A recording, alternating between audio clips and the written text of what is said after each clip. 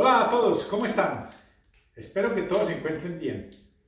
El día de hoy, como el título del video lo dice, vamos a hablar acerca de cómo manejar una ruteadora o fresadora, como la llaman en sus países. Cómo manejarla adecuadamente para evitar los accidentes. Ah, aprovechando que ese va a ser el tema, hoy precisamente me llegó esta cajita. Entonces, antes de empezar con el video, quiero destaparla para que veamos qué es lo que trae. Ok, vamos a destaparla.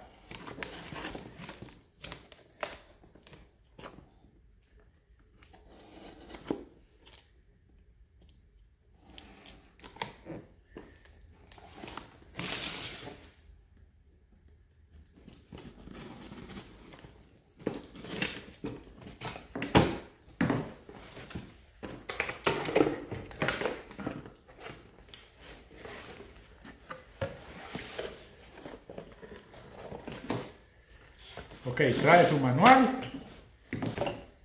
Aquí está la maquinita. Es una maquita RT0701C. Tiene un caballo y cuarto de fuerza.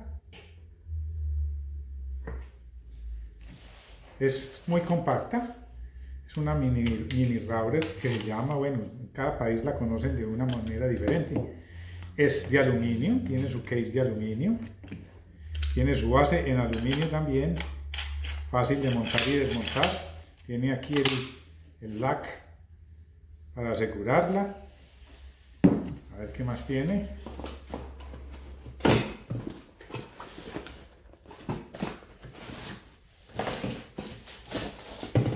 Trae sus respectivas llaves para cambiar las fresas. Trae sus respectivas llaves y trae una guía. Bueno eso es todo lo que trae. Es una, una fresadora de velocidad variable.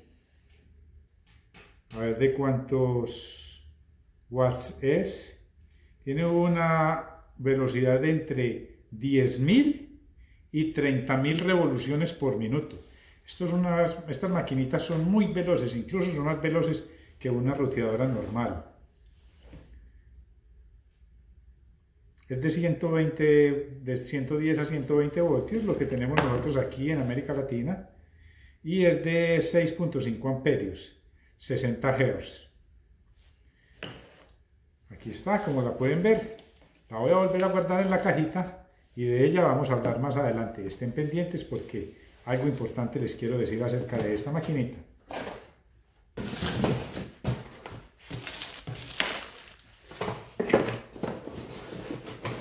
Ok, para continuar con la temática del video vamos a venir al manual.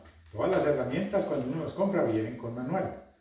Es muy importante uno leer el manual porque en el manual a usted le enseñan cómo se maneja la herramienta, qué capacidad tiene la herramienta, para qué es adecuada, para qué no, cómo se deben de asegurar las piezas, en qué forma debemos usarla, el mantenimiento que hay que hacerle, las precauciones que debemos de tener, qué debemos y qué no debemos hacer. Es muy importante leer el manual. Ok, aquí tengo mi otra maquinita. Es una maquinita de otra marca, es un poco más pequeña que aquella otra, pero es igual de potente. De hecho, esta tiene de entre 20.000 y 30.000 revoluciones por minuto. es prácticamente lo mismo que la otra, solo tiene esta pequeña diferencia aquí, que esta tiene para ajustarle la altura de, de la fresa, pero de resto es todo, todo, lo mismo, tiene la misma forma de asegurar, una perilla aquí para asegurarla y desasegurarla, es prácticamente lo mismo. Entonces ahorita vamos a cambiarla, vamos a ponerle la fresa para que hagamos la demostración. Primero que nada, antes de hacer eso, nos tenemos que asegurar de que la máquina esté desconectada.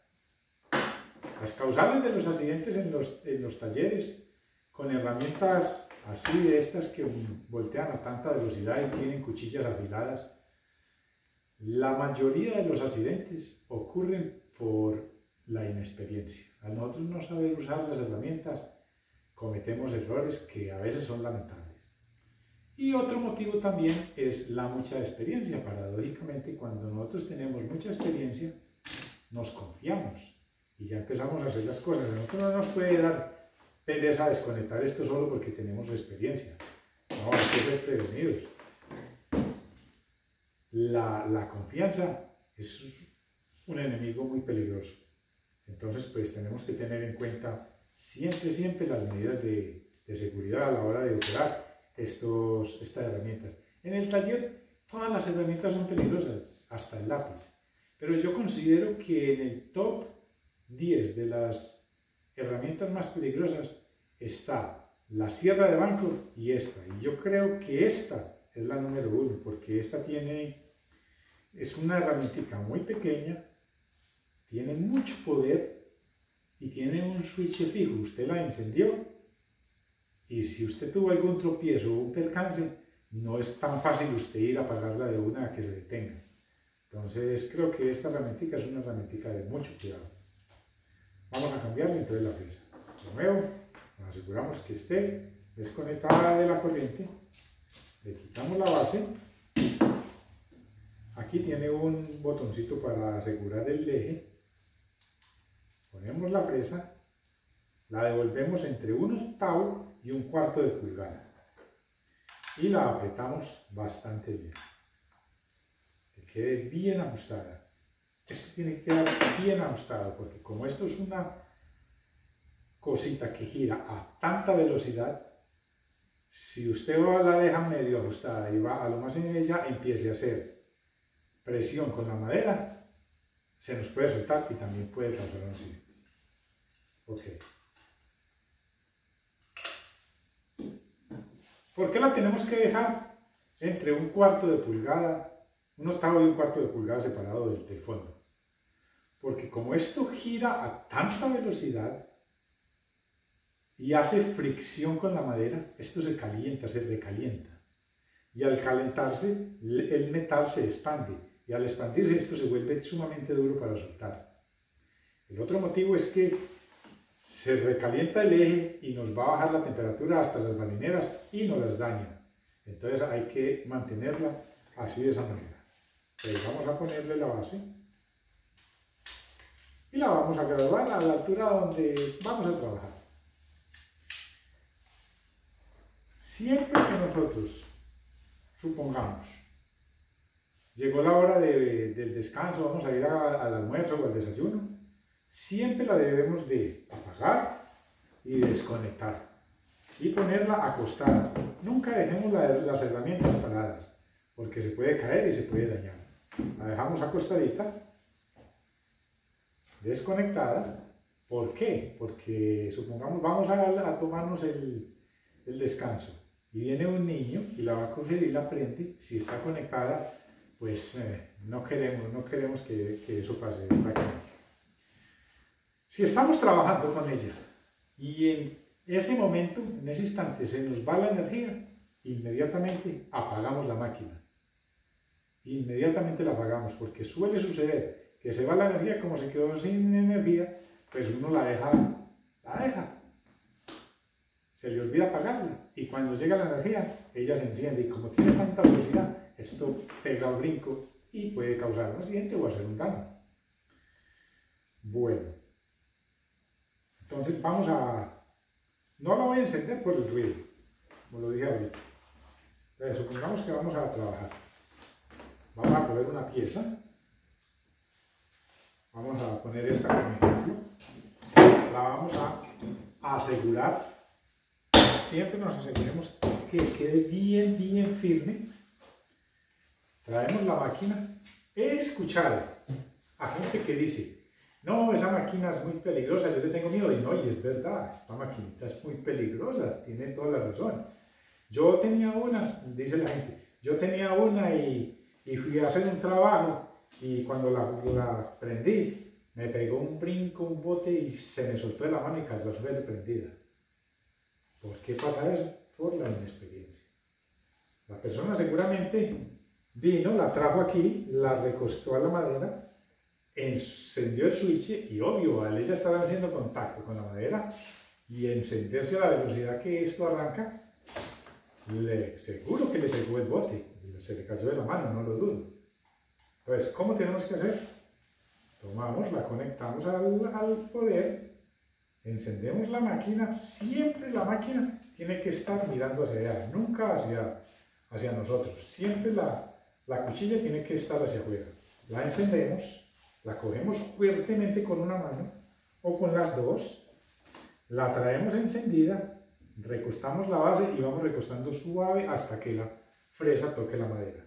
Una vez la fresa toque la madera, usted la va trayendo en esta dirección. ¿Por qué? Porque ella gira de esta forma de la forma de las manecillas del reloj. Entonces usted tiene que ir llevándola en esta dirección.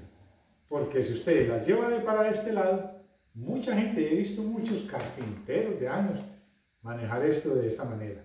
¿Qué pasa aquí? Al usted ir en la dirección que ella va girando, usted va en la misma dirección, ella va a jalonearle. Sé que a ustedes les ha pasado. Entonces la forma correcta es de izquierda a derecha cuando estamos ruteando por el frente. De izquierda a derecha la llevamos suave, la máquina nos va diciendo a qué velocidad la debemos llevar. He escuchado gente también que forzan las maquinitas. No, la máquina va diciendo a qué velocidad. Y estas tienen de bueno que tienen para agradarle la, la velocidad también. La llevamos, la llevamos, venimos de izquierda a derecha. Aquí si queremos hacerle un router a este aquí, le hacemos hacia allá y luego aquí ya nos tenemos que ir de para este lado. Siempre el cable debe de ir por encima de la mano. ¿Por qué debe ir por encima de la mano? Para evitar que la presa nos lo, nos lo corte. Suele suceder también. Siempre el cable debe venir aquí por encima de la mano y en la parte de atrás. Ah, a la hora de hacer un círculo, vamos a cortar un círculo supongamos que vamos a cortar un círculo en esta pieza necesitamos un círculo en la parte de adentro es la que necesitamos. Sea de adentro, sea de bueno, no tiene importancia. Tenemos que asegurar esta pieza. Tiene que quedar asegurada y el círculo también. Lo tenemos que fijar de alguna manera. ¿por qué? nosotros empezamos a cortar el círculo. Vamos cortando el círculo, lo vamos cortando. Y cuando vamos llegando al final, como esto tiene tanta velocidad, va a querer sacar el disco, querer patear el disco.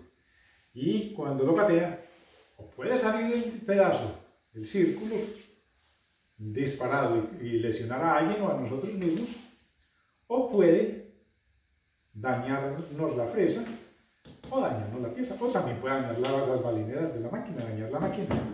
Entonces hay que tener en cuenta eso, siempre asegurar las piezas que vamos a cortar que no queden sueltas. Eh, pues yo creo que eso sería básicamente las precauciones que tenemos que tomar. Siempre, siempre, lo más importante con estas maquinitas es asegurarnos antes de conectarla que estén apagadas. Siempre, siempre. Otra cosa también, a veces la gente usa suéteres y los suéteres tienen de esos cordones aquí, de esas cuerdas, siempre, siempre que usted use algo, va a trabajar con, sea con la sierra de banco, con la ingletadora, con la sierra circular, con, con estas, siempre, siempre usted tiene que metérselos por acá por dentro o amarrarlos que queden corticos, que no queden colgando, para evitar, para evitar sustos. Entonces, pues creo que eso sería todo. Pronto me escapa cualquier uno que otro detalle déjenlo aquí abajo en los comentarios. Me gustaría que ustedes mm, le dieran like a este video para que sea compartido con más gente, que le activen la campanita, se suscriban. Y hablando de eso, pues vamos a pasar aquí a esta maquinita. Esta maquinita, como este canal es un canal bebé, pues yo quiero darles esta maquinita en gratitud. hacerla en un sorteo, darla en un sorteo a a los suscriptores cuando lleguemos a los 2.000 suscriptores. Vuelvo y repito, como este canal es un bebé, pues no, no puedo dar sino un solo premiecito, para eso me alcanzó. Entonces, eh, suscríbanse al canal para que tengan la oportunidad de ganarse en esta maquinita. Más adelante van a venir más premios si Dios lo permite. Eh,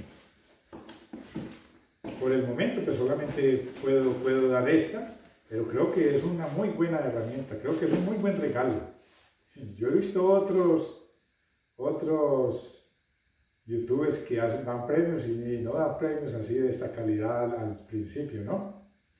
Eh, entonces aquí está la maquinita, para que ustedes la vean.